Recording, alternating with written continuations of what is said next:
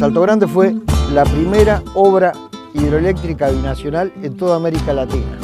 Una vez que vos has modificado un hábitat a nivel micro hábitat o macro o desde el punto de vista que lo enfoques, eso nunca va a volver a ser lo mismo. Nunca más. Los humedales aportan el 40% de los bienes y servicios ecosistémicos de todos los ecosistemas del planeta. Reconocer que en los pequeños bichitos nos pueden estar diciendo mucho acerca de la calidad ecológica del agua. Es la segunda cuenca más contaminada después del riachuelo en Buenos Aires. Prácticamente no hay matriz ambiental en la que no encontremos una traza de estos productos que aplicamos tanto. Hay que cuidar el río en todos los aspectos y un barrio náutico creemos que tiene un impacto importante.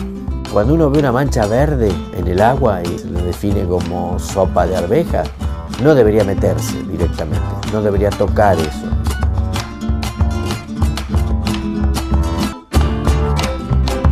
La federación tiene un vínculo muy fuerte con el agua.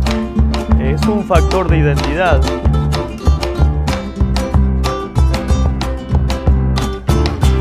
Lunes, 21 a 30, por TV Universidad. Sumate a TVU.